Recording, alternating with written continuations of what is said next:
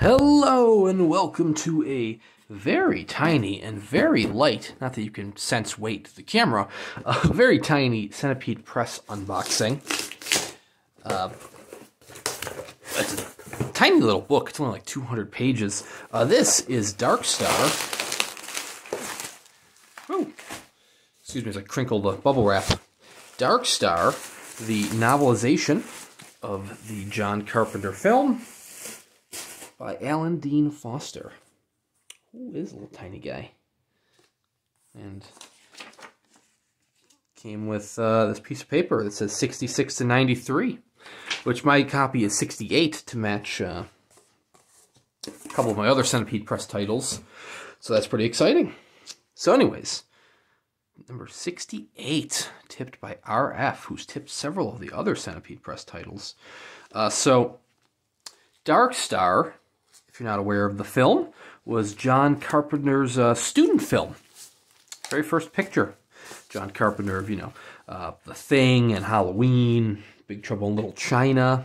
Got to keep this, of course. Always keep the little slips that come with it.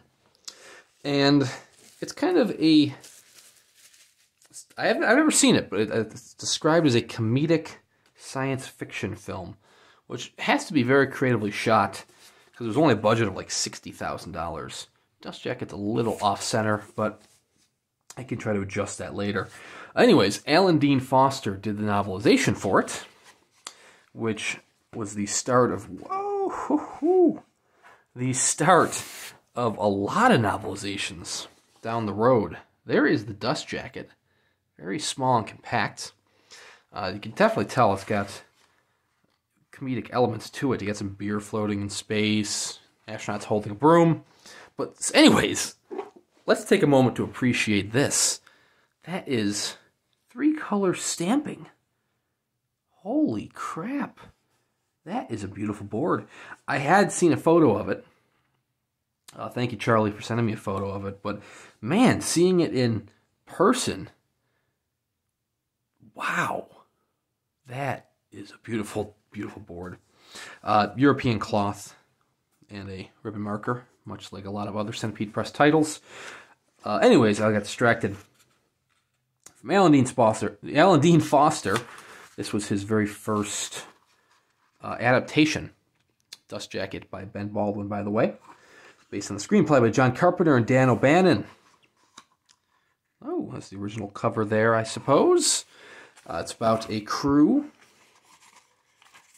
the surviving crew of a spaceship going around and kind of helping to protect. I gotta say, you get all these comedy things, then you get the movie poster, and you definitely don't get a comedic uh, feel from that image. Uh, at least I don't. Got a nice introduction by him, directing John Carpenter.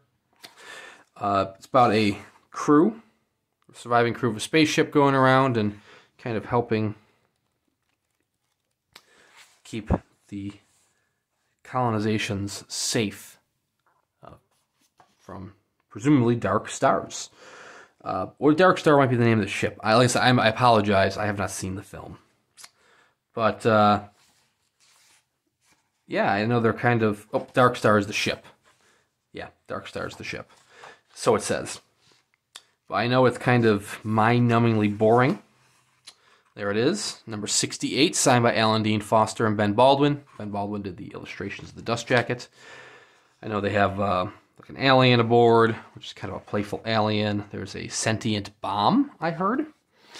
Um, and then Alan Dean Foster went on to do a lot of other novelizations as well. He did the Star Wars novelizations. Uh, he did some Star Trek novelizations, which makes us the second Star Trek novelist that Centipede Press has published of late, the first one being James Blish uh, for Case of Conscience. Then he did uh, the Alien novelizations. Uh, controversially, uh, a lot of, oh my god, controversially, I can't speak English. There was a lot of controversy, which was the word I was trying to say, as I said it in a weird way, uh, regarding Alan Dean Foster not getting his royalties after Disney acquired LucasArts and then acquired Fox. Um, and that was actually just resolved this past week, which is so excellent to hear. Know, there were a lot of authors on board with that, including Neil Gaiman. um, several others. But anyways, controversial, controversially, I cannot speak English today. I combined it with controversy, and you get controversy. But anyways, English being not my strong suit today, not being my strong suit. After a long day of work, I can't speak English at all. Dust, Art, Dust Jacket Art by Ben Baldwin, a beautiful little tome, number 68 from Centipede Press. Um, maybe we'll see some other Alan Dean Foster coming up along. Who knows? We shall see. Anyways, uh, thank you very much for watching, and we'll see you around next time.